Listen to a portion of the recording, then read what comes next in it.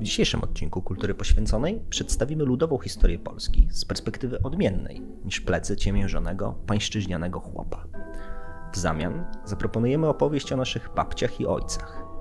Tych, którzy własną ciężką pracą oraz dzięki pomocy komunistycznego lewiatana mogli dokonać społecznego awansu. Na końcu tej opowieści jesteśmy my, 30-letnie słoiki z Polski B. Najpierw jednak jedna wielka prośba. Jeśli cenicie nasze cotygodniowe rozmowy, to zerknijcie w opis filmu, aby stać się darczyńcami kultury poświęconej w serwisie Patronite. A teraz zapraszam już na audycję Klubu Jagiellońskiego na czasy postchrześcijańskie. Czasy, które chcą, ale nie potrafią zapomnieć o Bogu. Niezależnie od tego, czym awans jest dla socjologów, jest on także opowieścią. E, tym cytatem z socjologa Bruce'a Robinsa, swoją imponującą e, pracę naukową rozpoczyna e, Magda Szcześniak. Jest to książka Poruszeni, awans i emocje w socjalistycznej Polsce. Tak to wygląda, wydana przez wydawnictwo Krytyki Politycznej. I próbą takiej opowieści o awansie społecznym jest druga książka, druga bohaterka książkowa naszego dzisiejszego odcinka. Jest to książka Hanka, E, opowieści o awansie Macieja Jakubowiaka. E, I to jest tak, że e, zarówno Jakubowiak, jak i Szcześniak starają się nam opowiedzieć tę samą historię, tę samą opowieść, ten sam fenomen społeczny, czyli fenomen awansu po 1945 roku. Oboje dobierają do tego inne narzędzia. Szcześniak opowiada tę historię przez, przez socjologiczny, przez kroniki filmowe, przez książki z tak zwanego nurtu chłopskiego. Generalnie podchodzi do tematu bardziej z perspektywy akademickiej. E, natomiast w przypadku Jakubowiaka, e, Jakubowiaka jest to e, perspektywa osobista, jest to esej, jest to próba jakiejś takiej biograficznej, eseistycznej historii z życia jego, ale także jego matki i jego babki. Natomiast to, co wydaje się łączyć obie perspektywy, to przekonanie, że to właśnie opowieść o awansie społecznym jest czymś, co do zasady raczej nieobecnym w, w opinii społecznej, czy raczej w pewnej wyobraźni społecznej, choć z drugiej strony znowuż e, sama Szcześniak, polemizując z głośną książką, głośnym esejem Andrzeja Ledera, e, Prześniona rewolucja, zwraca uwagę, że ta rewolucja e, w samym socjalizmie, w samej Polsce Ludowej była opowiadana, analizowana i przedstawiana na bieżąco, ale po 1989 roku wydaje się, że w jakiś sposób jednak z tej naszej wyobraźni społecznej E, e, zniknęła. Panowie, no to pytanie do Was. Czy rzeczywiście jest tak, że ta opowieść o, o pokoleniu naszych e, dziadków, naszych babek, naszych ojców to jest jakaś zapoznana w ogóle historia, że ta opowieść o awansie społecznym po roku 1945 jest w naszej wyobraźni społecznej nieobecna, a może po prostu gdzieś się tam pochowała na strychach czy, czy, czy w,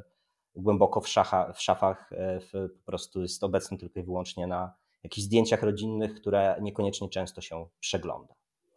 No nie wiem jak u Was, ale wydaje mi się, że w, w rodzinach w ogóle w Polsce ta opowieść o awansie po wojnie, przez PRL, przez transformację ustrojową, to jest jakaś taka podstawowa opowieść o dumie, o pochodzeniu, o korzeniach.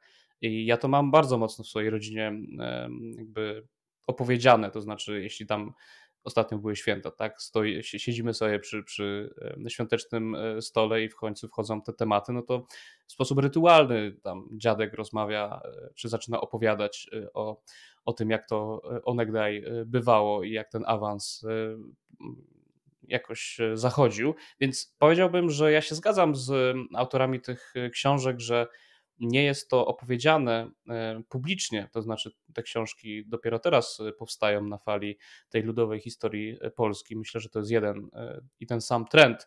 Natomiast w naszych rodzinach było to opowiadane. Wiem, że tobie Kaszczu nie wypada, ale kilka lat temu przed opublikowaniem tych książek sam napisałeś esej do którego kilkukrotnie już chyba w kulturze poświęconej wracaliśmy, gdzie e, pokazywałeś, że no właśnie, powinniśmy rzucić tę pańszczyznę w cholerę i tę taką ludową historię, społeczną historię Polski opowiadać e, przez pryzmat naszych rodzinnych historii awansu właśnie powojennego przez, przez PRL. I to rzeczywiście teraz e, można powiedzieć, że byłeś trendseterem i, i ludzie z krytyki politycznej wydają teraz opasłe tomiszcza, które korzystają z, z tego samego wyobrażenia. Ja myślę, że to jest bardzo dobry ruch. To znaczy, rzeczywiście dużo łatwiej jest poczuć jakąś wagę te, tego tematu dla tożsamości w ogóle Polski, kiedy będziemy śledzili te losy naszych ojców, naszych dziadków, pradziadków, bo rzeczywiście wtedy te zakorzenienie w konkrecie społecznym i socjologicznym jest jest e, jakieś takie namacalne, a mówienie o tym, że kiedyś tam 200 lat temu ktoś tam był chłopem e, i był krzywdzony przez, przez jakiegoś pana jest e, bardzo upraszczające i tutaj to, to wprost Szcześniak polemizuje z Leszczyńskim, z Pobłockim, że, że właściwie no, to jest bardzo mocno uproszczona wizja historii, że wszyscy jesteśmy z chłopów. I ona pokazuje, że no właśnie ta rzeczywistość była skomplikowana, a takim kluczem do rozumienia jej jest ten awans, który, który opisuje. Myślę, że to jest bardzo dobra e, pozycja e, książkowa, do której warto, warto po prostu sięgać. Więc jakbym miał odpowiedzieć na Twoje pytanie, no to tak, w prywatnych historiach rodzinnych sądzę, że mamy to dość mocno zinternalizowane, E, bo no, opowiadamy sobie te historie, ale to jest historia prywatna. I teraz na całe szczęście, po tych 30 e, latach e, od, od początku transformacji w Polsce, zaczynamy o tym szeroko dyskutować i to, i to bardzo dobrze.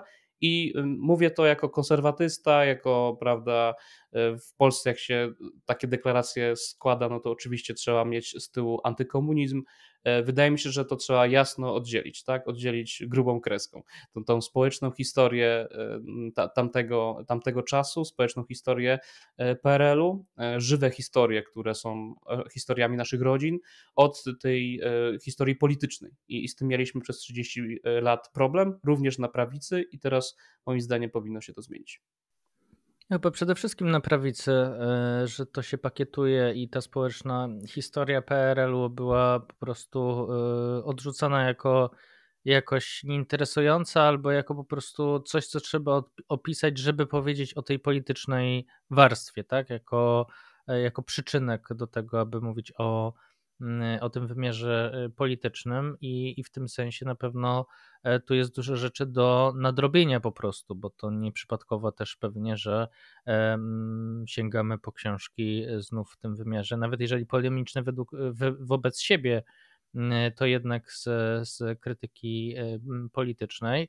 E, dużo fajnych wątków. Myślę, że to, co też e, pewnie jakoś powtórzę, ale mocniej zaakcentuję, to znaczy, że mm, moja krytyka jakoś e, też tego, tych książek jak Chłopki, całego tego zwrotu ludowego polegała na tym, że to jest trochę budowanie jakiejś wspólnoty wyobrażonej, natomiast że brakuje tam realnego doświadczenia tego, co jest nam najbliższe i co ty określiłeś właśnie przez, e, czy opisałeś przez tą rozmowę z dziadkiem przy świątecznym e, stole. E, no, moi dziadkowie to są roczniki 40 i, no, i, i siłą rzeczy głównie moja budowanie jakiejś historii rodzinnej zaczynam e, od rozmowy o tej, o tej rzeczywistości powojennej e, i o PRL-u e, właśnie ewentualnie z jakąś pamięcią okołowojennej, co wynikało już z przekazów raczej ich rodziców albo jakiegoś starszego rodzeństwa czy, czy rodziny.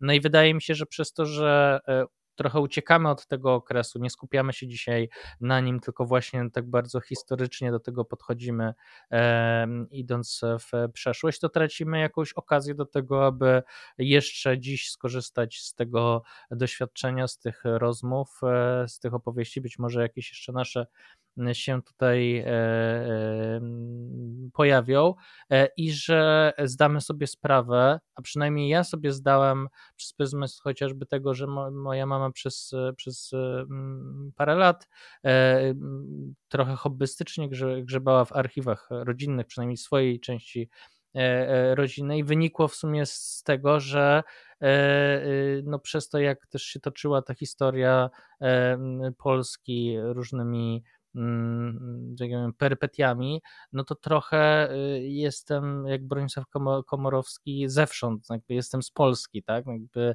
trudno określić y, pochodzenie, ponieważ y, różni, e, różni przodkowie różnie po tej Polsce się przemieszczali między, e, między gdzieś tam terenami Ukrainy, między Warszawą, między mm, rejonami już ziemiami uzyskanymi po wojnie i tak dalej, więc trudno to wszystko jakoś sklasyfikować, więc w tym sensie tym bardziej nie czuję się jakoś, żebym był w stanie odnaleźć w którejśkolwiek z tych pozycji, które wcześniej czy teraz omawiamy, Mm, swoją własną historię, więc być może ta, ta Hanka opowieść o awansie, opowieść o tym, e, w jaki sposób w ogóle patrzeć na to, e, jak nie tylko ten awans, ale w ogóle nasza historia mm, e, historia rodzinna rzucona w, ten, w tą historię społeczną, mm, jak wyglądała, to jest dość, dość specyficzna, e, nieuniwersalistyczna rzecz e, i bardzo osobista, którą i tą po prostu podróż warto wykonać dla siebie samego, dla, dla tego, żeby zrozumieć trochę i, e, i Polskę, i własną rodzinę, i być może też wykonać tą pracę dla kiedyś dla swoich e, e, dzieci, bo no jest, to, jest to coś wyjątkowego pewnie. E, tak, e, wspomnieliście trochę, ja przynajmniej tak to interpretowałem, że te e, opowieści takie prywatne, rodzinne mogą być też po prostu opowieściami o pewnej genealogii społecznej Polaków. Jak Bartek powiedziałeś, że jesteś zewsząd, czy możesz być prezydentem wszystkich Polaków, jesteś do tego teraz, wychodzi na to doskonale predestynowany. Bartosz Brzyski 2035 na przykład. Zobaczymy, taki, jak taki post, postmodernistyczny kandydat lepiący wszystkie tradycje i, i wątki. Tak, akurat pod tym kątem to obawiam się, że nie jesteś oryginalny w polskiej polityce. E, natomiast wracając do kwestii tej genealogii, bo wydaje mi się, że ona jest tutaj istotna, też padło, padło pojęcie ludowej historii Polski, też nie będziemy ukrywać, e, drodzy oglądający i słuchający, że, że to jest odcinek e, powiedzmy w szerokim nurcie naszych dyskusji, wątpliwości, krytyk, polemik z właśnie nurtem ludowej historii Polski, że szukając tej genealogii społecznej Polaków, no można, upraszczając oczywiście, generalizując, podejść do tego na na dwa sposoby, bo zakładam, że y, część y, y, osób na lewej stronie tak naprawdę stwierdzi, że nie ma różnicy między Adamem Leszczyńskim a Maciejem Jakubowiakiem albo, albo Magdą Szcześniak, że to się te opowieści się ze sobą jakoś sumują, czy też jedna kontynuuje drugą. To znaczy Adam Leszczyński pisze o naszych pra, pra, pra, pra, pra, pra dziadkach i babciach, którzy musieli schylać plecy przed szlacheckim ekonomem, prawda, na, na folwarku e, i że to jest jakby jedna część opowieści, e, to taka bardziej skupiona na, na krzywdzie, bardziej skupiona na, e, na takiej perspektywie, w której nasi przodkowie są raczej przedmiotem niż podmiotem historii. I jest to, drugie, to, to druga perspektywa reprezentowana właśnie przez, przez Jakubowiaka, reprezentowana przez Szcześniak, ale też w przyszłości mogę serdecznie polecić choćby też esej, wydaje mi się, że też wydany w, w Czarne, podobnie jak Hanka, E, autorstwa Piotra e, Nesterowicza, Każdy został człowiekiem. E, książka oparta o powojenne, mm, powojenne pamiętniki awansujących chłopów. Bardzo ciekawa lektura.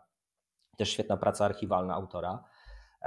Bo ta druga opowieść jest trochę inna. Nie tylko ona jest bliższa jakby nam pokoleniowo, więc łatwiej się w niej, wydaje mi się, bezpośrednio odnaleźć, ale też, no właśnie, tu przestajemy być przedmiotem, stajemy się podmiotem w sensie nasi przodkowie stają się podmiotem dziejów, e, są tymi, którzy są sprawczy, starają się jakoś e, w tej historii e, odnaleźć i przez, przez swój wysiłek i, i, i pracę i ambicje no właśnie dokonać tego awansu między innymi. O specyfice tego awansu też pewnie za chwilę sobie trochę więcej powiemy.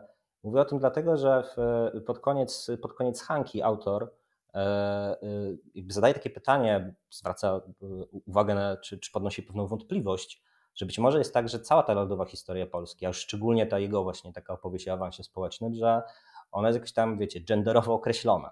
To znaczy, że to jest opowieść męska, właśnie taka e, e, bardzo sprawcza, bardzo podmiotowa, w której e, trochę brakuje kobiet i że on nawet stwierdza, że być może lodowa historia Polski to jest ten sam rodzaj opowieści jak wykorzystywanie przyrody, prawda, i antropocen i, i że to jest jakaś taka perspektywa właśnie bardzo męskocentryczna i redukcyjna. E, I zastanawiam się, czy, czy jak wy się tutaj odnajdujecie. E, czy waszym zdaniem Jakubowiak jakoś tutaj chwyta, chwyta dobrze, czy, czy, czy trochę redukuje? Jak widzicie w ogóle się, jak się odnajdujecie między tymi dwoma, e, dwoma nurtami ludowej historii polskiej, tej skupioną mocniej, skupionym nurtem mocniej na, na etapie pańszczyźnianym i, i tym bliższym nam? Czy to jest tak, że staracie się to jakoś w swojej głowie łączyć? Czy waszym zdaniem któraś z tych opowieści, jest, e, czy powinna być w naszej wyobraźni e, społecznej dzisiejszej istotniejsza? No, ja jestem tutaj zwolennikiem tej tezy e, Magdy Szcześniak, to znaczy, że nie da się połączyć tej, tej książki Poruszenie, tej całej opowieści o polskim społeczeństwie z e, tymi e, tezami wcześniejszymi, które można sprowadzić do takiego oto sformułowania, że wszyscy Polacy jesteśmy pochodzenia chłopskiego, to znaczy byliśmy wykorzystywani przez pana szlacheckiego, to znaczy polskie społeczeństwo, Polacy, polski naród jest chłopski i powinny, powinien się odżegnywać od wszystkiego, co jest szlacheckie, co elitarne i tak dalej. Czyli, taka typowa lewicowa młódzka, która przepisuje te lewicowe kategorie wyzyskiwanych i wyzyskiwaczy proletariatu i prawda, tej proletariatu prawda, chłopskiego z, z, z panami wielkimi kapitalistami szlacheckimi, to to jest głęboko nieprawdziwe i to jest taka opowieść bajkowa, to jest opowieść dla małych dzieci, bo polskie społeczeństwo tak nie wygląda i trzeba być, trzeba bardzo mocno naciągać fakty, żeby w ten sposób na polskie społeczeństwo patrzeć. I e, Magda Szcześniak pokazuje w tej książce, że e, polskie społeczeństwo, jeśli chodzi o pochodzenie, jest bardzo mocno wymieszane i skomplikowane. Oczywiście mieliśmy do czynienia z, czy mamy dalej do czynienia z tym, że mamy większość pochodzenia chłopskiego, tego chłopa, który, który e, no, był świadkiem i też aktorem, podmiotem sprawczym tego awansu w państwie socjalistycznym, ale też mamy trochę inteligencji, mamy całkiem sporo, sporo ziemiaństwa, to się wszystko kotuje i miesza. Dlatego dzisiaj ciężko mówić o tym, że wszyscy jesteśmy z tego albo z tego e, sortu, bo tak jak Bartek powiedział, jesteśmy trochę zewsząd. E, każdy z nas zapewne ma trochę w sobie jakiegoś tam pociotka e, bieda szlechcica, albo jakiegoś chłopa, albo jakiegoś mieszczanina, albo, albo jakiegoś, prawda, nie wiem, jeszcze robotnika i tak dalej. Do tego trudno dojść, do tych naszych indywidualnych historii. Niestety. Natomiast wydaje mi się, że e, od tej strony po prostu ta książka Poruszeni jest e, bardziej uczciwa, bo ona nie stara się kreślić takich wielkich e, kategorii i przez to jest bardziej wiarygodna. Ja się w tym mocno, mocno odnajduję. Rzeczywiście to, co wrzuciłeś, ten wątek taki genderowy, no to jest nie tylko w Hance, ale u Szcześniak również. To znaczy, że ona pokazuje, że ta cała propaganda, czy to kinematografia, czy, czy, czy literatura wydawana w czasie PRL-u była opisywana opisywała, czy opisywała ten awans, ten, tą, tą taką rewolucję społeczną, która wcale nie była prześniona bardzo mocno e, w ówczesnej debacie publicznej, w ówczesnej kulturze, tylko e, pokazuje, że to była e, taka historia, która skupiała się przede wszystkim na, na właśnie awansie mężczyzn, to znaczy były te, te, opowieści, prawda, że prawda, jak w daleko od szosy mamy wspaniałym serialu, który pewnie dzisiaj jeszcze zagości w naszej rozmowie, mamy tego Leszka, który jest najpierw, najpierw mieszka na wsi, a później staje się, staje się szoferem, tak? Cała ta opowieść kończy się na tym, jak składa papiery do Politechniki e, Łódzkiej.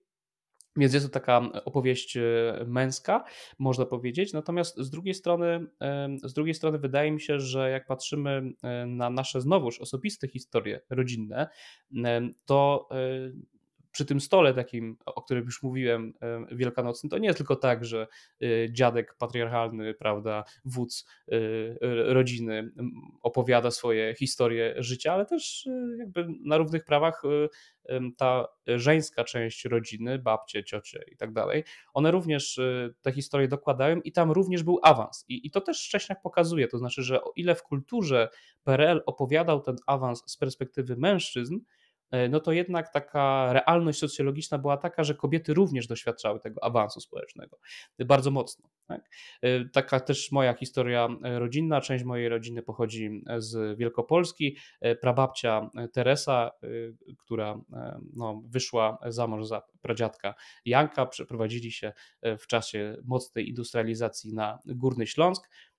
I, I była taka sytuacja, no, że właśnie ta e, osoba z e, bardzo biednych warunków ówczesnej wsi wielkopolskiej, musiała jakby awansować tak, na taką osobę, która no właśnie zarządza domem, ale też tymi wszystkimi nowoczesnymi urządzeniami, prawda, w bloku i tak dalej, a z drugiej strony ten dziadek, pradziadek był kolejarzem, rozpoczynając jakąś tam małą tradycję kolejarską w mojej rodzinie, więc jakby przy stole rodzinnym pokazuje się jednocześnie jedną i drugą stronę, tak? tak kierowniczka sklepu, tak, z połem, tam jedna, druga babcia, ciocia.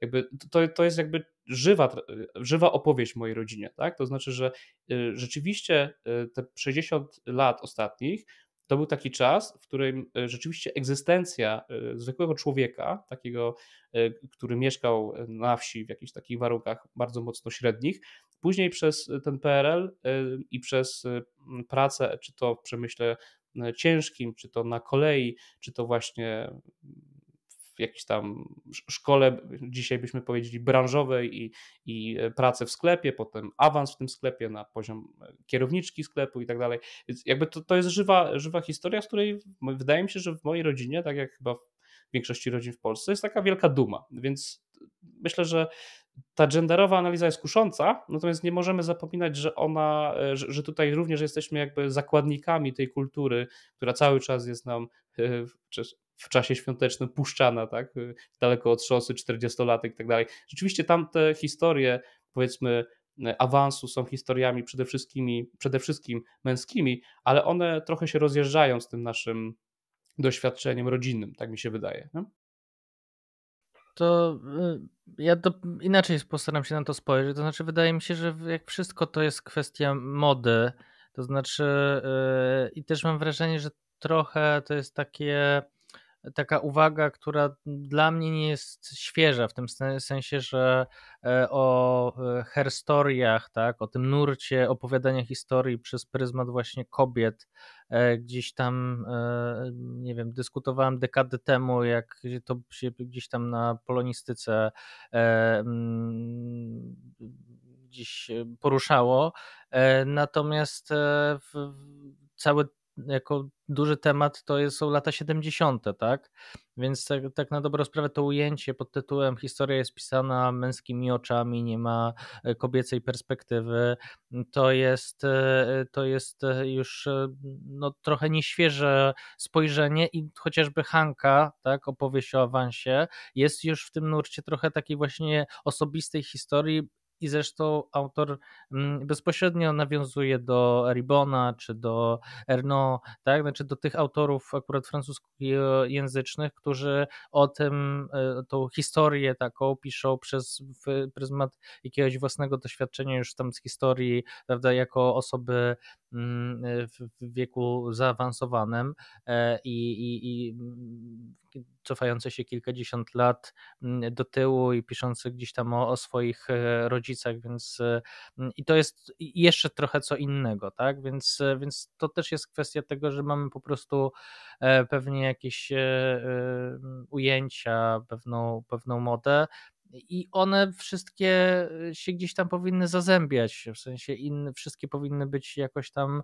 w miarę Mm, równoważne w tym sensie, że no po prostu e, mężczyźni byli bardziej podmiotem jakiejś tam historii, też tej politycznej, a ponieważ historię bardziej, najbardziej przez ten pryzmat polityczny się e, opowiada, więc, więc to też zawsze się bardziej e, narzucało.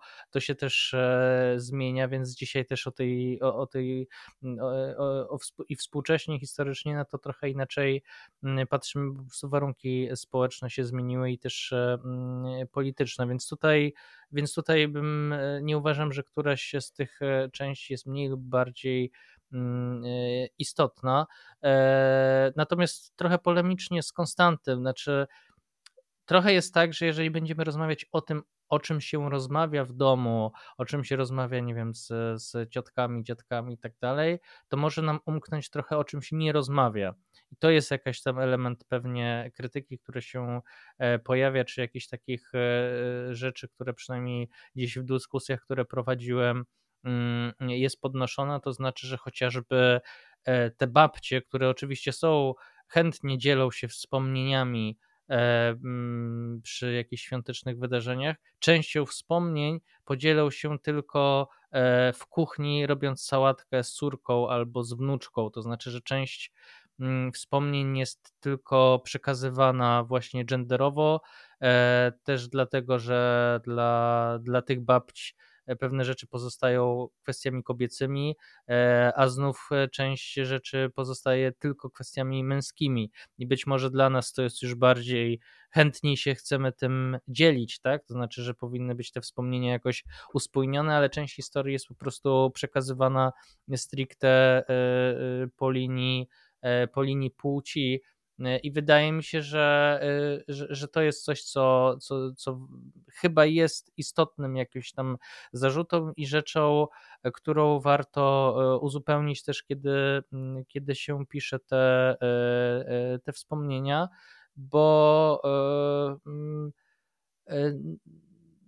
bo fajnie mówić o sukcesach awansu społecznego, Natomiast jest ileś rzeczy, o których e, niekoniecznie się wspomina na, e, na, na rodzinnych e, spędach i, mm, i imprezach, i, a one też były elementem są elementem e, rodzinnej historii, tak? To trochę jak ten, jak te, nie wiem, dzieci, które umarły w dzieciństwie, tak? Że się przypadkowo można dowiedzieć, że jeszcze dziadek miał brata albo, albo był jakiś stryj i tak coś się z nim wydarzyło, ale gdzieś on, gdzieś ta historia umknęła, bo się wydarzyło na przykład coś tragicznego i, i, i, i, i to nie jest już elementem takiej zbiorowej rodzinnej e, pamięci, więc e, E, ale też te rzeczy też umykają w takich zbiorowych pracach, bo tutaj e, Szczęśniak, e, Szczęśniak polemizuje z Lederem, Szczęśniak z, z ujęcia socjologicznego, z filozofem,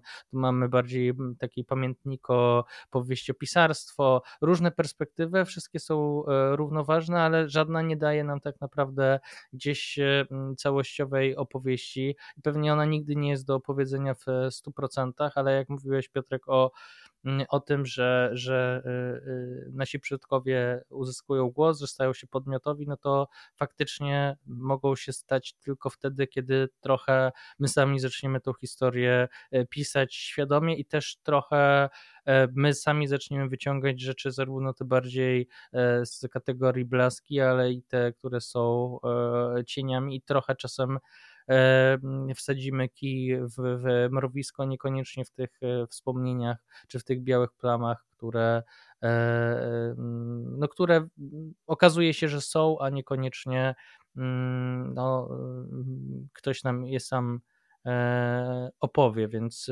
więc my też musimy wykonywać taką pracę w tym zakresie, nikt jej za nas nie, nie zrobi.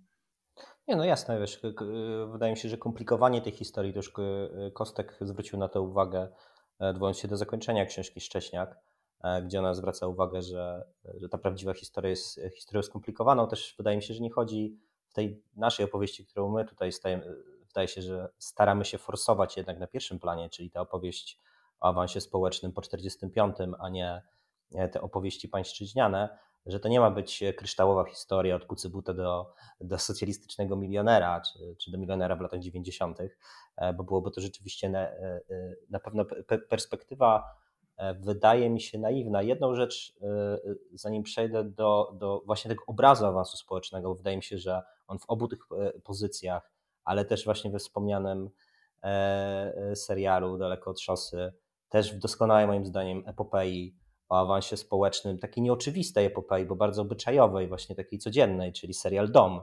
E, też musiał to oczywiście paść, e, gdzie te genderowe role wydaje mi się, że są dosyć zbalansowane i mamy tam bohaterów i bohaterki e, całej tej właśnie opowieści. No to ty Kostek wspomniałeś o tym, że ciebie to jest oczywiste, że to jest opowiadane z dumą jako jako część jakiegoś takiego rodzinnego dziedzictwa. E, u mnie doświadczenie było odwrotne, to znaczy to było opowiadane jako normalność. Normalne było to, że e, nie wiem, babcia skończyła kilka klas, a, a, a nie skończyła studiów. Normalne były te wszystkie historie związane właśnie z przenosinami ze wsi do miasta. Normalna był, e, była praca w przemyśle. To wszystko było przezroczyste. I wydaje mi się, że tutaj też tkwi clue, dlaczego to nie jest obecne. Nie tylko, że to nie jest historią polityczną, nie tylko, że nie, nie tyczy się to Jana Pawła II, nie ma tam Lecha Wałęsy, ani obalania komuny, ale też dlatego, że nikt nawet nie wpadł na to, że wiecie, historie naszych dziadków mogą stać się przedmiotem historii przez duże H. No bo generalnie jest tak, że historia jako taka ma być epicka. Wydaje mi się, że bez względu na to, czy opowiadają ją prawicowcy umowni, czy lewicowcy, to jest dokładnie ta sama perspektywa. Prawica będzie opowiadać, powiedzmy, PRL z perspektywy antykomunistycznej e, walki z reżimem. E, lewica to przemilczy, ale jak już sięgnie po tą y, najbardziej dzisiaj eksponowaną medialnie część ludowej historii Polski, czyli tą związaną z chłopami, no to też już na to zwróciliście trochę uwagę to też jest opowieść epicka, tak? Po jednej stronie jest szlachcic przez duże esz, po drugiej chłop przez duże H, CH e, i oni trochę są, wiecie, w jakimś takim starciu, klinczu dziejowym. Po jednej stronie pan, po drugiej niewolnik. To jest trochę też marvelowskie w jakimś stopniu. No i teraz y, y, ta perspektywa awansu społecznego, ona nagle zaczyna opowiadać trochę z perspektywy e, no też takiej epickiej, nadaje pewną epickość, y, wydarzeniom, sytuacjom i osobom, które wydają się totalnie antyepickie, takie, które nie powinny podlegać narratywizacji. Trochę jest o tym też u Jakubowiaka, że on zwraca uwagę na to, że on przez długi czas nie wpadł w ogóle na to, na to, że może pisać o swojej matce i swojej babce, że może opowiedzieć ich historię jako pełnoprawną historię e, książkową czy literacką. I to jest jakiś taki przewrót, wydaje mi się, w, w myśleniu, że nie tylko że zmieniamy perspektywę z politycznej na historię społeczną, z takiej właśnie nadzwyczajnych, wielkich wydarzeń przez, przez duże W na historię codzienności, ale że w ogóle wpadliśmy na to, że, że takie, tego rodzaju historie rodzinne co do zasady, one mogą stać się czymś e, obecnym w debacie publicznej, czymś powszechnym i czymś, co właśnie może być, e, może być przedmiotem, przedmiotem dumy. I te właśnie kwestia o tym, z czego być dumnym, też wydaje mi się e, w ogóle jedną ze stawek współczesnej tej ludowej historii Polski. Czy mamy być dumni z tego, że jesteśmy przodkami chłopów, e, czy mamy być dumni właśnie z tego bardziej, że jesteśmy przodkami e, czy potomkami tych naszych, naszych rodziców i naszych dziadków. I że tutaj jest, tutaj jest jakieś takie wewnętrzne napięcie.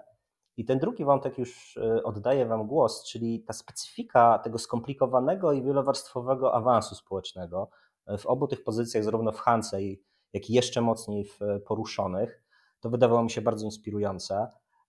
To znaczy, że mamy tam połączenie zarówno takiej perspektywy indywidualnej, to znaczy, że jest konkretny bohater, konkretna osoba, jej wysiłek, ambicja, praca, decyzja o tym, żeby E, pójść do danej szkoły, żeby skończyć szkołę, żeby zdobyć edukację, żeby wyjechać e, ze wsi do miasta albo z, z mniejszego miasta do większego, czyli jest ta jakby podmiotowość jednostki, ale ona jest warunkowana przez e, okoliczności zewnętrzne, przez pewne struktury, tak? To znaczy, że państwo, w tym przypadku państwo socjalistyczne, jest istotnym aktorem całego tego awansu społecznego, tworząc warunki, budując szkoły, E, wspierając rozwój przemysłu, tak żeby, żeby ci ludzie mogli, mieli gdzie pracować mogli skończyć jakieś szkoły. Że to jest jakieś takie e, fajne, wydaje mi się, e, połączenie, które nieraz w opowieściach, mam wrażenie, są, jest, jest rozdzielane. Znaczy, jak, jak mamy pewien, no właśnie, mit od pucybuta do milionera, ten bardziej liberalny, no to on bardzo mocno podkreśla rolę jednostki, sprawczości indywidualnej. Jak sobie nie poradzisz, to jest twoja wina Albo druga taka bardziej czasami nawet zbyt deterministyczna wizja, upraszczając lewicowa, która tylko podkreśla istnienie tych właśnie takich zewnętrznych wehikułów, modernizacji wehikułów awansu społecznego w postaci szkoły, w postaci e, no właśnie, nie wiem, usług publicznych, e, e, w postaci przemysłu i że ten awans właśnie, o którym my mówimy, jest, jest intrygujący właśnie pod tym kątem, że jest e, skomplikowany, jest wielowarstwowy, nie jest tylko zależny od jednostki, nie jest tylko zależny od, od państwa. Aby świadomie i skutecznie działać na rzecz dobra wspólnego i aby wpływać na polityczną rzeczywistość wokół nas, trzeba posiadać konkretną wiedzę, umiejętności i doświadczenie. Zaczniesz tę drogę dzięki Akademii Dobrego Obywatela. Oferujemy zajęcia, warsztaty i szkolenia prowadzone przez wieloletnich praktyków, specjalistów i autorytety naukowe. Zacznij działać w klubie jagiellońskim i zarejestruj się już dziś. Link znajdziesz w opisie materiału. Mnóstwo wątków, mm, natomiast y, ja przede wszystkim na początku chciałem y, podkreślić, no, tą wielką ambiwalencję tego procesu. To znaczy, być może ta, ta, ta moja wypowiedź o tej dumie rodzinnej zabrzmiała jakoś tak triumfalnie, że, że ten przysłowiowy dziadek przed tym, że za tym stołem jakby mówi o, z dumą o swoich przodkach i tak dalej. Nie, tam też jest jakby przewaga normalności, a ta duma wychodzi jakaś taka, tak mi się wydaje, odczytuję to jakby pomiędzy słowami, e, z, z jakby z, miejsca, w którym teraz już jesteśmy jako rodzina. Tak? Jakby opowieści o tym, że tam ma, mama mojego e, dziadka musiała w czasach e, wojennych blisko powojennych gdzieś tam mieszkać na, na cmentarzu, bo tylko tam była jakaś tam praca, jakieś tam dżemy, z buraków, czy jakieś takie y, mocno kompatanckie, byśmy powiedzieli, historie no, realnego nieszczęścia takiego egzystencjalnego i, i to potem y, mówi się w, w czasie świąt y, Wielkiej Nocy, gdzie wiadomo jak święta Wielkiej Nocy wyglądają, jak stół wygląda, szczególnie na, na Górnym Śląsku. Jest taka duma, gdzie jesteśmy, a gdzie jako rodzina byliśmy. Nie jest to taka duma jakby wprost artykułowana, ale ją można wyczytać po prostu z kontekstu, co chciałem powiedzieć. I y, myślę, że takim kluczem interpretacyjnym, o, o którym warto, o, którego chyba warto zacząć to, to, tę rozmowę na temat awansu w ogóle, jest to pojęcie rozdartego habitusu, bo ono bardzo dobrze pokazuje to, to ambiwalencję. Nie? Habitus to jest jakby pojęcie z socjologii Pierre'a Bourdieu mówiące o tym, że jakby człowiek w, w ramach jakiejś klasy społecznej nie tylko i wyłącznie e, ma jakiś tam określony mm, nie wiem, liczbę, jak tam jakąś konkretne pieniądze, które otrzymuje z pracy, ma jakąś pracę, ale za tym idzie też konkretny sposób zachowania się, jakiegoś takiego, no właśnie, savoir vivre albo jego braku, e, obycie w świecie, tak, znajomość, wiedza i tak dalej.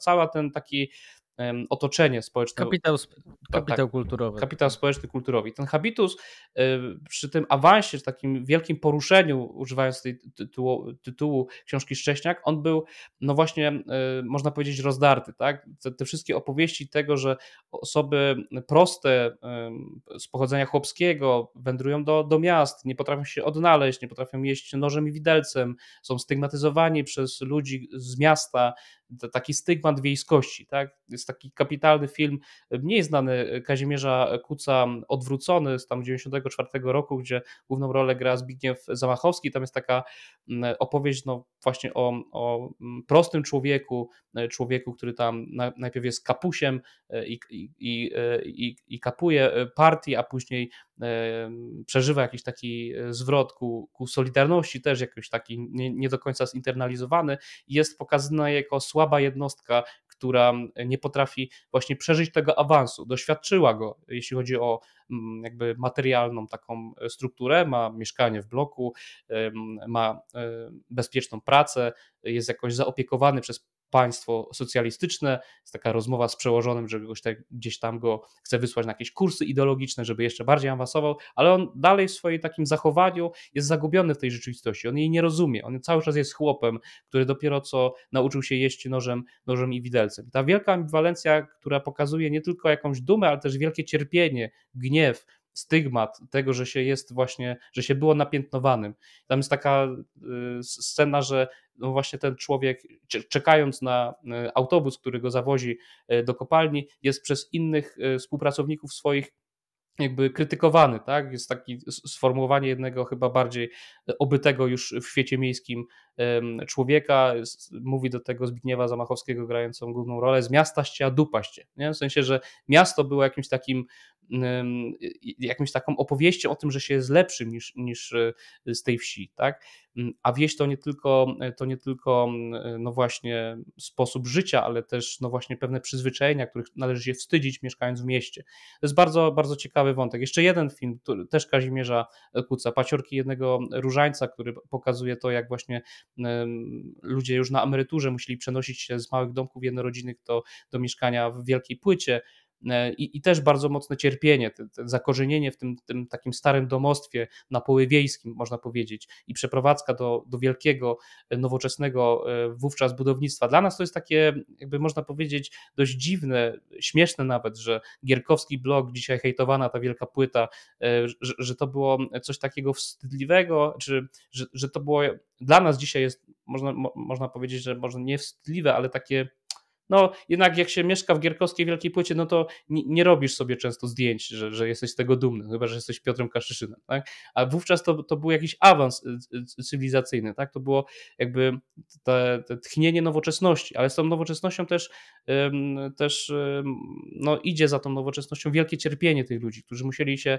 dostosować do, do nowej rzeczywistości i od tej również strony ta książka Szcześniak jest uczciwa i bardzo się cieszę, że ta, że ta książka powstała. Też się cieszę, że nawet na lewicy jest ta wewnętrzna dyskusja, krytyka polityczna to, to wydaje, bo ona właśnie pokazuje tę ambiwalencję, to znaczy pokazuje ten gniew, e, te emocje, które są tam w podtytule, one są tam jakoś stara się opowiadać te emocje, tak? Że to nie był tylko wielki awans i właśnie od Pucybuta do milionera, nie ma tego, tej takiej e, liberalnej e, legendy tam, tylko jest pokazane to z całą dobrocią e, inwentarza, tak? To znaczy, że, że to, był, to był wielki przeskok, wielka rewolucja, wielkie poruszenie tych ludzi, ale też wielkie cierpienie, wielki gniew i wielki wielopokoleniowy de facto jakby zadanie, tak? Poradzenia sobie z tą całą nową, nową rzeczywistością, gdzie państwo nie tylko było opiekunem, państwo socjalistyczne, ale też często wchodziło z butami w naszą egzystencję i e, no, de facto e,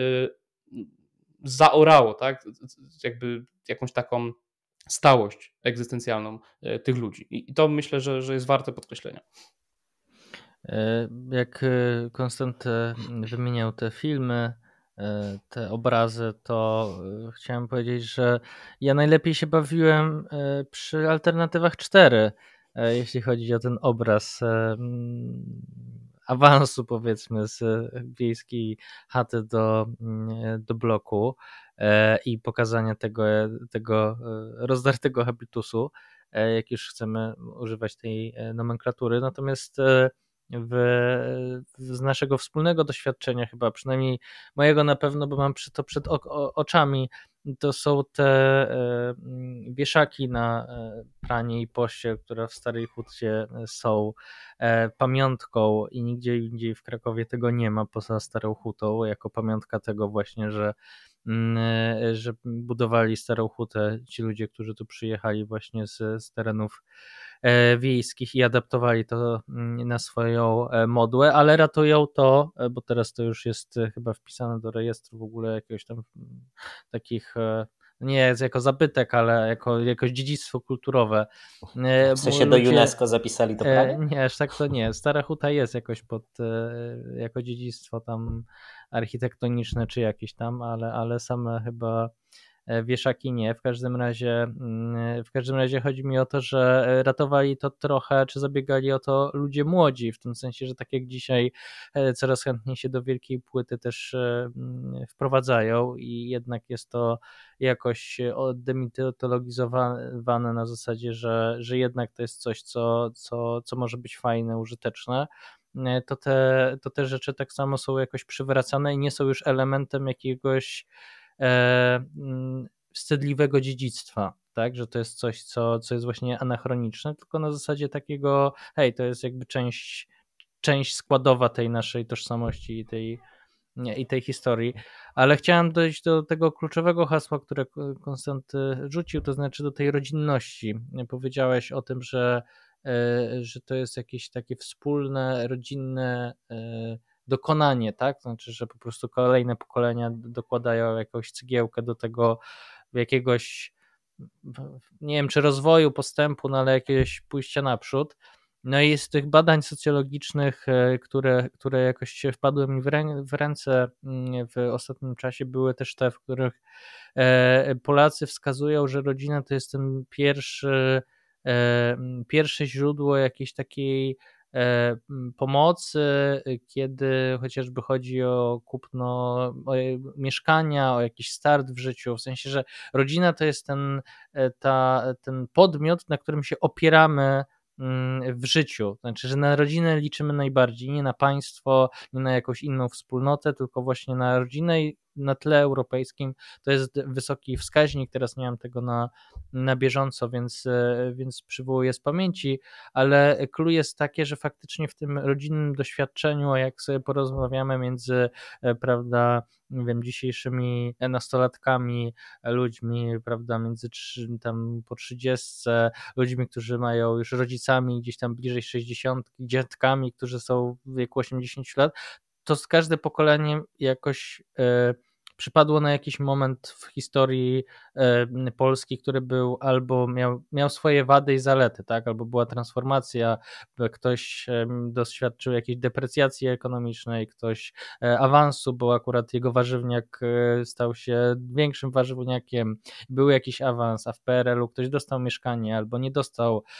Jakby że na każdym tym, e, w tym etapie tej opowieści rodzinnej, czy cofają się wiadomo jeszcze w czasy gdzieś tam powojenne, czy, czy, czy wojenne, jakby rodzina musiała opierać się tym zawirowaniom. I e, mam wrażenie, że to też sprawia, że ta e, polska rodzina być może w coraz mniejszym stopniu, ale że jest trochę takim przekonaniem o, o, o sztafecie, o tym, że okej, okay, jakby myśmy no właśnie, że to jest y, zmaganie się z historią, jest doświadczeniem e, każdego kolejnego pokolenia i opowiadamy sobie to przy stole pod tytułem ok, jakby za naszych czasów. Ja pamiętam to z nie bardziej, pewnie już sprzed, sprzed 20 lat bardziej e, takie rozmowy przy stole pod tytułem teraz to młodzi mają e, kiepsko, a za PRL-u, prawda, to i praca była, a dzisiaj takie wysokie bezrobocie, tak? No jakby, że każde pokolenie... Gadaj z moim ojcem, czy o No, a, a widzisz, nie? Jakby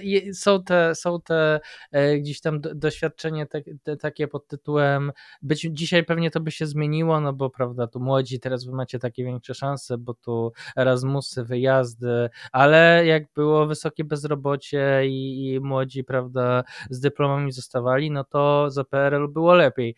I to się gdzieś tam wszystko, e, wszystko magluje, ale e, suma summarum rodzina cały czas jest tym podmiotem, który, e, który stara się gdzieś pracować na na to, żeby pchać tych następnych przez, przez te wichry e, historii. I myślę, że to jest jakieś wspólne doświadczenie. I dlatego też cały czas mimo tego różnych tam habitusów, rozdarcia i tak dalej, to jednak ci wielkomiejscy e, no, mieszczanie powiedzmy nowi wracają do tych rodzinnych domów i cały czas się do tej, przy tym rodzinnym stole mm, spotykają, bo jakoś gdzieś tam jest to silniejsze e, od, od wszystkiego e, innego, ta jakaś wspólnota rodzinne, jakieś przekonanie o tym, że e, ci rodzice jednak, e, okej, okay, tak jak w Hance, właśnie są czasami e, być może nawet, nie wiem, zawstydzeni tego, że, że ci młodzi są już lepiej wykształceni i właśnie używają innego języka i tak dalej, ale jednocześnie są źródłem, są dumni z tego, że, że wykształcili tych, e, tych e, młodych ludzi. Jak popatrzymy sobie często na poprzednie pokolenia, to też tak było, że na przykład, nie wiem, któreś, któreś dziecko z domu było pierwszym tym, które wyjechało z, z, z gospodarstwa albo lepiej się wykształciło niż, niż e, inni i to też było źródło jakiejś rodzinnej dumy, czyli jakiś e, wysiłek zbiorowy, rodzinny na to, że ktoś, e, że, że, że komuś się udało. To był też jego, jego sukces był zbiorowym sukcesem i być może też to jest element cały czas tej lewicowcy by powiedzieli neoliberalnego przekonania o tym, że trzeba zapierdzielać i, i być być kowalem własnego losu, ale wydaje mi się, że w jakimś takim być może zwulgaryzowany sposób jest to właśnie, właśnie to. To znaczy, że im większy sukces kolejnego pokolenia, tym więcej też ty dałeś z siebie jako, jako rodzic, tym więcej ty zainwestowałeś ty, i tym więcej ty dałeś wyrzeczenia z siebie. E, I być może to jest jakieś uni uniwersalne e, doświadczenie, że, że mamy po poczucie, że jednak to nie są te polityki publiczne i to nie jest kwestia szkoły i to nie jest kwestia jakichś warunków ekonomicznych, tylko jakiejś zbiorowej woli, E, właśnie tejże, tejże rodziny, jakieś, jakiegoś powiązań czasem tak? Nawet patologicznym, że tu jakiś wujek komuś pomoże, tu jakaś ciotka, tu jakoś zadzwonimy do tego, tu mamy lokal, lekarza, tu mamy księdza e, i ktoś zna kogoś, e, ale, e, ale to jest po prostu też efekt tego, jak ta nasza historia się układała, jakiejś nieufności do, do tych instytucji, które są bardzo, bardzo kruche, więc no jak to mówią, plusy dodatnie, plusy ujemne, e, ale, e, ale jest to ciekawe, e, myślę, ciekawe, unikalne znów chyba doświadczenie, które fajnie sobie też prześledzić, bo tak jak powiedzieliście, wydaje nam się, że to jest przeźroczyste i oczywiste, a tak naprawdę to to nad tym czasem warto e, mm, przystanąć jako, jako coś, co jednak nie jest takie e, oczywiste i jest wynikiem jakiegoś nagromadzenia jakichś kulturowych takich, nie wiem, chyba to Dawkins nazywał jakimiś takimi memami, nie? Tak pierwotnie, w sensie jakimś takim klisz, nie wiem, jakichś, jakichś takich rzeczy, które, które przenosimy, a, a nieświadomie a które są e, no, jakoś tam nabyte. Familiar, e, familiar, nie, amoralny familiaryzm. Tak to się ładnie chyba socjologicznie nazywa, to co pod koniec e, określiłeś, ale wydaje mi się, że to właśnie to byłoby coś prześnionego w tych rozmowach. To znaczy, jeżeli u mnie to było mniej, jednak była większa świadomość tych uwarunkowań strukturalnych związanych z PRL-em, świadomość zakładów pracy, industrializacji, e, świadomość roli powszechnej edukacji, alfabetyzacji ludzi, ale że faktycznie często jest w polskich rodzinach tak, że to jest prześnione. W sensie, że jakby nie zwracamy na to uwagi, a podkreślamy tą naszą indywidualną rolę i jakby realną pracę i wysiłek tych pokoleń, ale jakby nie zdajemy sobie sprawy, że gdyby nie te dodatkowe wsparcie, to ten wysiłek niespecjalnie mógłby się skończyć E, e, sukcesem. O tym też fajnie Szcześniak e, pisze, zwracając uwagę, że awans społeczny w PRL-u właśnie miał być powszechny. On nie miał być indywidualny jak w kapitalizmie, ale miał tyczyć się większych grup, czy raczej całych klas społecznych i że było to jakby niejako z góry wprogramowane w, w, w ustrój po prostu jako taki. Więc to jest jedna rzecz. Druga rzecz, Czyli ta ambiwalencja, ona w ogóle nam wychodzi na to, że to będzie jakiś leitmotiv odcinka, ale wydaje mi się, że to jest e, faktycznie ważne, e, bo często jest tak, że są jednostronne opowieści dzisiaj w, w debacie publicznej i prawica opowiada tylko tym symbolicznym e, profesorem Legutko, mówiącym o zerwanej ciągłości, o pełnej apokalipsie i zniszczeniu po II wojnie światowej. Oczywiście ten element też, też wydaje mi się, że musi tutaj się pojawić bo choć nieraz się z tego już, e, już trochę nabijaliśmy wręcz, jako z takiej prawicowej apokaliptyki, e, to jednak on jest istotny o tyle, że istnieje też takie ryzyko pójścia za mocno w drugą stronę, w tą lewą stronę i przedstawienie całego tego procesu awansu społecznego jako czegoś, wiecie, linearnego, e, jako takiej ideologii postępu, że zawsze, zawsze jest tak, że z każdym pokoleniem jest lepiej i nie ma żadnych kosztów, które musimy zapłacić. Trochę Konstanto o tym mówiłeś, o tym też są y, po, po części powieści z, właśnie z tak zwanego nurtu chłopskiego z lat, lat 70., e, prawda, Myśliwski, e, Nowak, Rydliński, jest też, e, na którą zresztą sama Szcześniak w książce się powołuje, e, świetna e, powieść Juliusza Kawalca, Tańczący Jastrząb, gdzie dokładnie jest pokazany ten awans bohatera ze wsi do miasta, ale on musi zapłacić cenę na przykład taką, że przenosząc się do miasta, zostawia żonę i dziecko. To jest jakby taka symboliczna opowieść pokazująca, że to przejście też z kultury ludowej do tej kultury miejskiej e, miało swoją cenę. My też rozumiem z perspektywy konserwatywnej. E, e, wydaje mi się, że musimy też na to zwracać uwagę. Dla mnie zawsze taką dwuznacznością w tym, w tym wymiarze jest oglądanie zdjęć Zofii Rydet. One są dostępne online z lat 70. czy 80.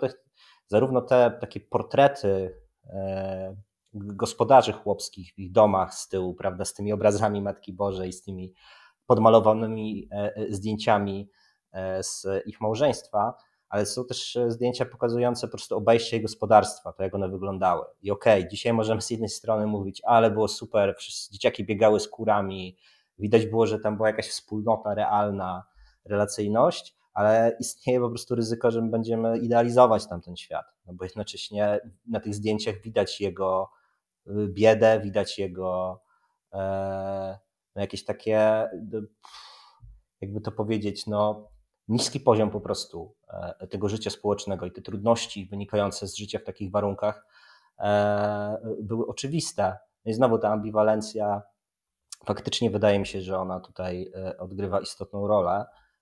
Jeszcze jedno dzieło kultury, które przyszło mi do głowy, jak Kostek wrzucałeś te filmy, to, to jest mało znany film, wydaje mi się świetna pozycja.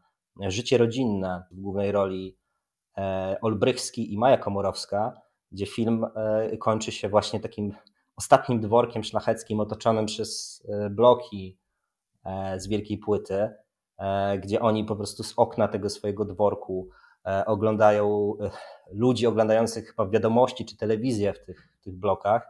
Jest jakiś taki symboliczny moment zderzenia tych dwóch światów, gdzie każdy ma swoje racje, każdy ma jakiś element piękna, każdy ma jakiś element wartościowy, E, I to napięcie pewnie musi być trochę też rozstrzygane indywidualnie, e, w, w tym sensie, że no, nasze opowieści są, są właśnie skomplikowane, jakoś tam splecione, tak jak staraliśmy się to powiedzieć.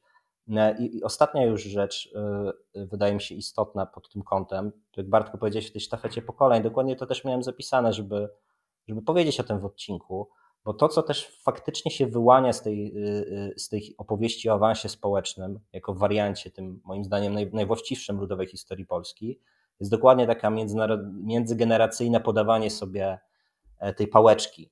Tak? Bo jak sobie popatrzymy tak bardzo upraszczając, no to mamy to pierwsze powiedzmy pokolenie, które ze wsi wyjeżdża do tych małych e, miasteczek powiatowych, gdzie się pojawiają pierwsze zakłady, e, pierwsze zakłady E, pierwsze fabryki i pierwszy przemysł. Później jest powiedzmy to drugie, upraszczając pokolenie, które z tych małych miast powiatowych się przenosi do miast wojewódzkich, perelowskich, tych z reformy administracyjnej Gierka, czyli już te większe miasta, większe życie, bardziej kultura mieszczańska. No i na końcu jesteśmy, upraszczając, my, pokolenie tych 30-latków, którzy mogą skończyć studia w dużych miastach. I dokładnie to jest historia w ogóle Macieja, właśnie Jakubowiaka i w Hance, gdzie jego babcia zaczynała w latach 30. na wsi pod Krakowem, a on skończył Uniwersytet Jagielloński, uzyskał tytuł doktora, kiedy jego babka skończyła dwie czy cztery klasy.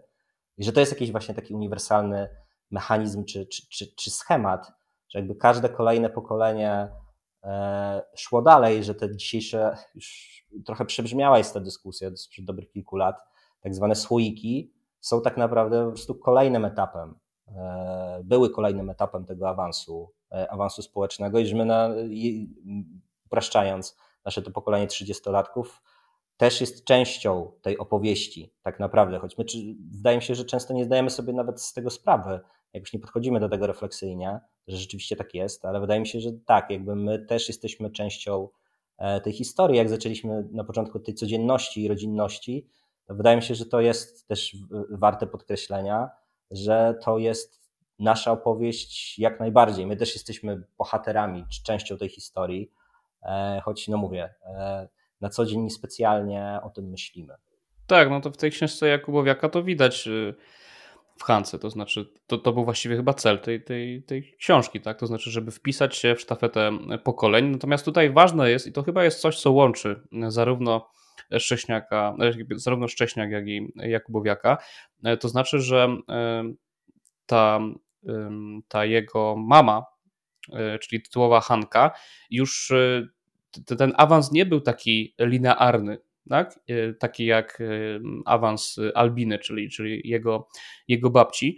I, I to wydaje mi się, że to jest dość spójne z tym, o czym pisze Szcześniak, bo Szcześniak mówi o tym, że mm, ta wielka mobilność społeczna, ten, ten awans e, społeczny, o którym cały czas rozmawiamy w historii PRL-u, to jest przede wszystkim te pierwsze 20-30 lat po wojnie. Tak? Wtedy mamy to, że nawet w, przy niektórych statystykach jedna trzecia lub jedna czwarta e, społeczeństwa e, no właśnie totalnie zmieniła swoje życie, swoją egzystencję. To jest olbrzymia rewolucja, o której też kilkanaście lat temu, nie, chyba jeszcze kilkanaście czy już no Leder pisał, tak, w prześnionej, prześnionej rewolucji. Natomiast to, co dzieje się później, to znaczy ten awans staje się zupełnie inny, tak, bo rodzi się ta klasa urzędnicza, biurokratyczna, tych dygnitarzy i, i wszystkich takich ludzi inteligencji, można powiedzieć, która pracuje dla systemu i w jego, i w jego imieniu, tak, w imieniu partii.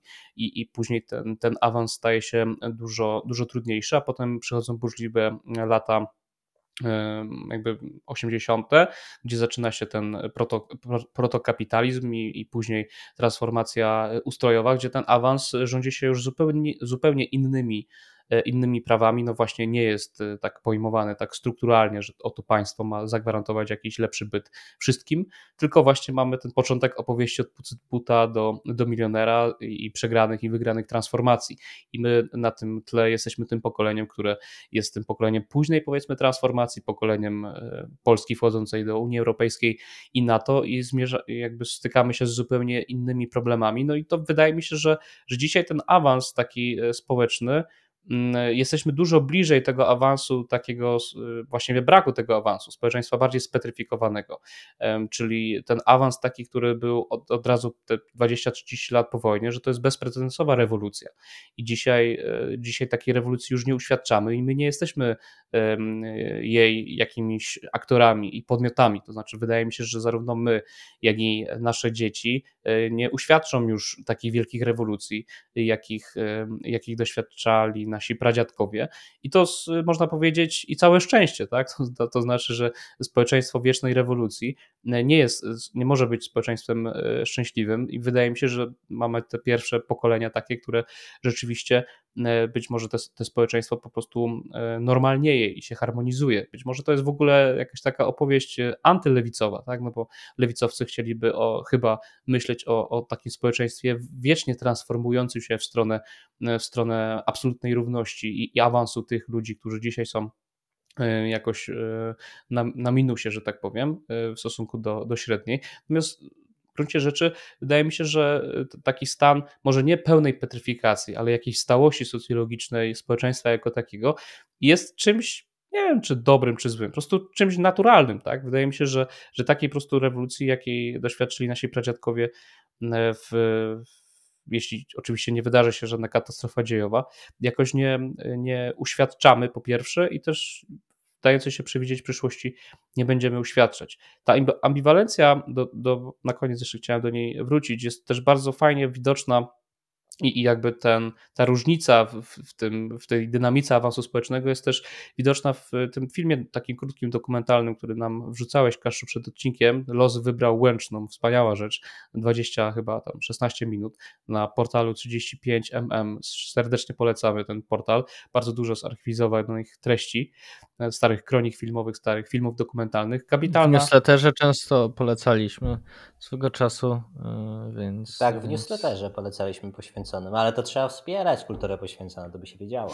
No właśnie, więc wspierajcie nas na, na Patronajcie, będziemy takie perełki dla Was wybierać, a szczególnie chyba Kaszyszyn, który ten portal dla, znaczy, dla Was odkrył. Polecałem, e, raz, raz polecałem e, film dokumentalny Parowóz PT47, e, nakręcony przez Wojciecha Jerzego Hasa, tego Hasa.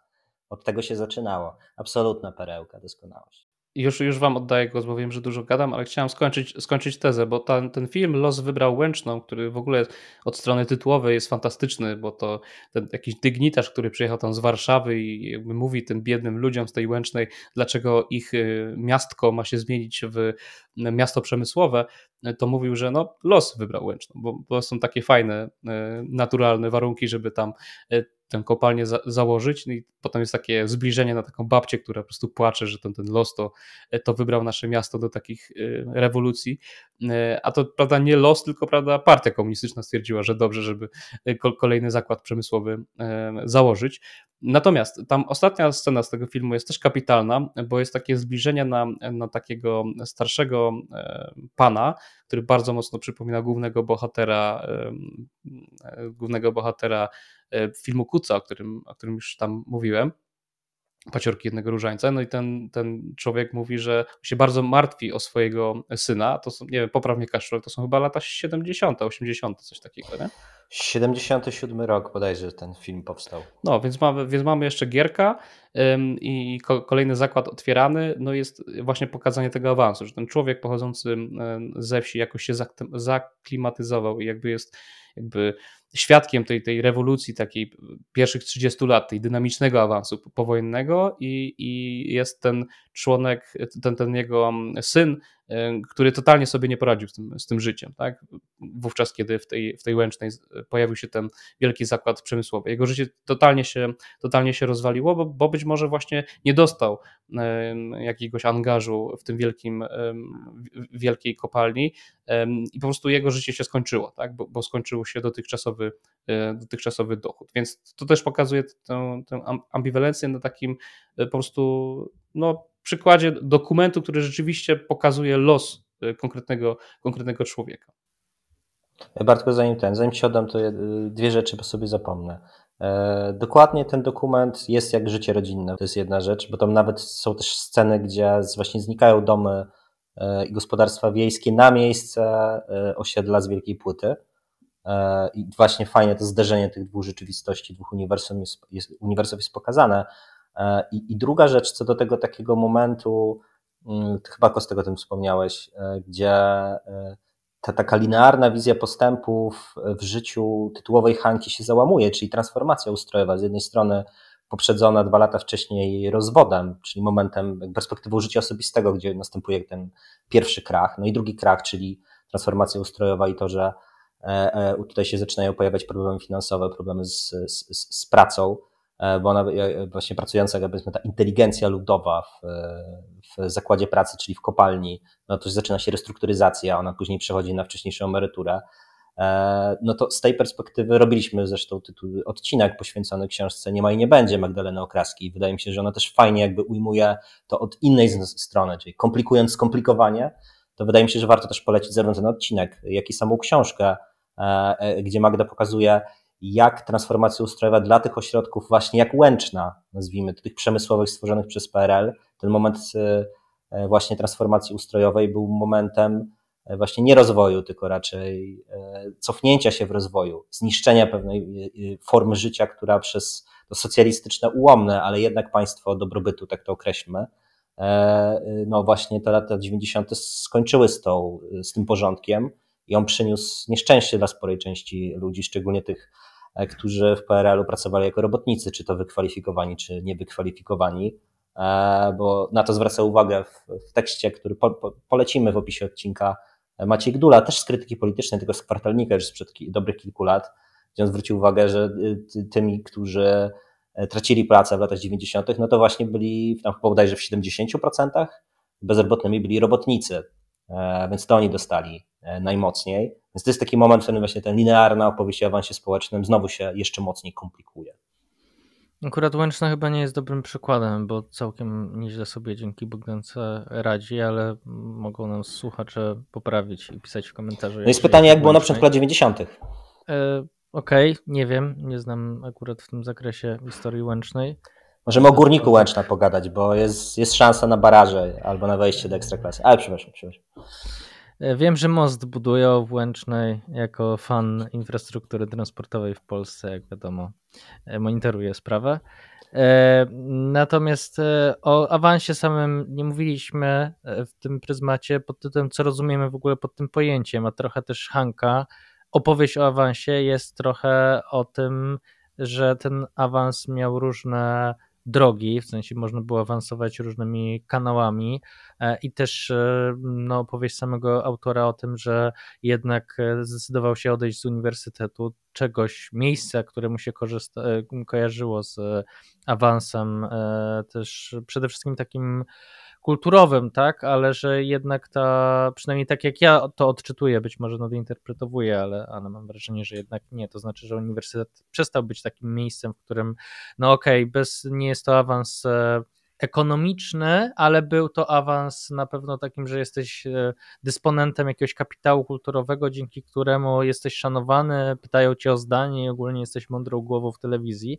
E, bo, bo wiesz więcej, tak? Bo masz jakiś prestiż społeczny, że to się w dużej mierze jednak, e, mm, znaczy przynajmniej w jakiejś części się wyczerpało i, i przestało to być też takie mm, atrakcyjne, więc mam tutaj wrażenie też, że to, co rozumiemy pod, pod tym hasłem awansu społecznego też się zmienia i na przykład jak tam pisze mm, autor o tym awansie w PRL-u przez sport, to mam wrażenie, że na przykład dzisiaj e, młodzi ludzie, którzy chcą być influencerami albo piłkarzami, też próbują kreślić swoją przyszłość przez szybszy, szybki awans, właśnie takimi ścieżkami, które y, sprawią, że będziesz mógł przeskoczyć te dwie, trzy klasy y, wyżej, jeśli chodzi o E, mm, no, ten poziom życia, tak? Y, I, I później często to się kończy tak, że piłkarz dostaje się do dobrego klubu, już mu się nie chce grać, bo nie chodziło za bardzo o granie, tylko o to, żeby, żeby po prostu dobrze zarabiać. E, I, e, i też część rodziców pcha dzieciaki w sport po to właśnie, żeby później stały się tymi tenisistami albo, albo kimkolwiek innym. I e, więc no, to, się, to się zmienia, zmieniają się te zawody, zmieniają się, e, jedne tracą, drugie zyskują. E, to jest kwestia też awansu pod kątem właśnie, czy to czy, czy to kulturowym, ale nie finansowym, albo finansowym, a nie innym i tak dalej. Więc tu pewnie to otworzylibyśmy trochę inną dyskusję, że to jest na tyle dynamiczne też, że często dzisiejsi e, rodzice mówią dzieciom o tym, że musisz się uczyć i, e, i idź i będziesz miał dobrą pracę, a dzieci już wiedzą, że to nie jest coś, co da im awans i się na tym tle na przykład robią jakieś konflikty, bo po prostu ta rzeczywistość jest e, bardzo zmienna i dynamiczna. Natomiast Konstanty powiedział, że ta stabilność jest e, być może oczekiwana. Mam wrażenie, że nie, że w Polsce cały czas jest oczekiwanie na rozwój gospodarczy, a on będzie sprawiał, że cały czas, e, no przynajmniej te, na tym ekonomicznym polu, e, ludzie chcą, żeby ich dzieci jak najawansowały, czy, czy zarabiały, jakby awansowały, bo na tym, przynajmniej te, na tym polu ekonomicznym, być może nie e, na, na, na polu jakąś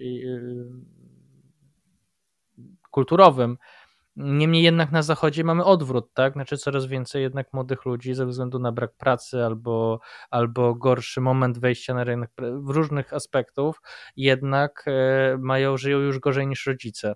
A to też e, budzi pewnego rodzaju frustracje społeczne, no bo jednak młodzi chcą, żeby starsi im jakby ustępowali miejsca w momencie, w którym jakieś zawody albo e, są zdominowane na przykład przez 70-latków, tak? Mamy najbardziej to w polityce, ale też w innych, nie wiem, dużych, y, różnych dużych firmach, no to to budzi frustrację, że prawda, ceny nieruchomości drożeją, że nie może nie stać nas na studia i tak dalej, i tak dalej, a ci tamto pokolenie nie dość, że dostawało na przykład mieszkanie albo było w, wchodziło na rynek pracy w piku państwa opiekuńczego, to jeszcze teraz cały czas siedzi i trzepie pieniądze z tytułu tego, że, że po prostu weszli w dobrym momencie. Więc to nigdy wydaje mi się nie będzie takie bezkonfliktowe i takie, że ta stabilność będzie, że ta homeostaza e, jest zachowana. No gdzieś wydaje mi się, że, że, że, że, że, że trudno to osiągnąć i to są e, rzeczy trochę przeciwstawne, jak, jak interesy e, generalnie.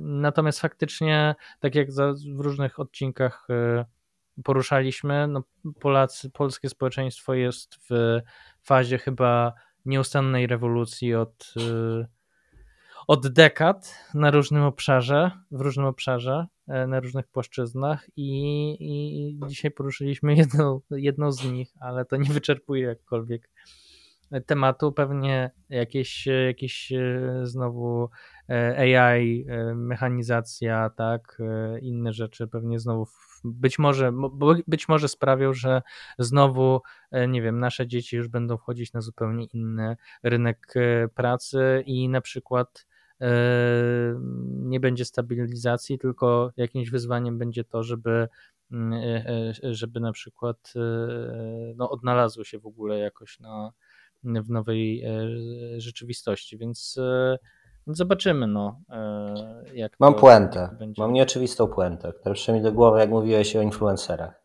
Słuchajcie, wyszło na to, że awans socjalistyczny przez fabryki i przez yy, masowe migracje zasadniczo przy wszystkich swoich wadach jest lepszy niż współczesny awans kapitalistyczny przez TikToka i pokazywanie tyłka na OnlyFansie jak No fagata. ale wiesz, to jest, jest kwestia trwałości tego awansu, nie? Co to jest za awans? To jest degeneracja. To, jakby, to jest No to jest jedna awansu. rzecz, ale jakby... Tak, ale ja celowo to powiedziałem, żeby zwrócić uwagę i w ten sposób spuentować też ambiwalencję, że awans społeczny nie ogranicza się tylko i wyłącznie do wymiaru materialnego i dobrobytu, prawda, materialnego i społecznego, ale też do rozumu i godności człowieka. Więc połączmy, ja jestem, połączmy te ja dwie rzeczy. jestem Fagata, młoda mm, piosenkarka z Podkonina. Pozdrawiamy. Tak, tak, to jest najciekawsze, że ona bardzo podkreśla swoją małą miasteczkowość. To jest Podmiot bohaterka. liryczny zwraca uwagę na uniwersalny prawda, aspekt i historii. E, Tak, Fagata z Polski P. Ona stamtąd właśnie jest. I z tą nieoczywistą puentą chciałbym, myślę, że e, zakończyć nasz e, dzisiejszy e, odcinek. E, I co? Mogę zachęcić, że jak możecie, macie taką możliwość, to zadzwońcie do dziadka, rodziców, podziękujcie, że e, skończyli technikum, e, mieszkali w hotelu robotniczym, pracowali w fabryce albo gdzie indziej i że zapoczątkowali, czy są częścią tego awansu społecznego. Tak, żeby było jak u Konstantego przy stole Wielkanoc, żeby porozmawiać.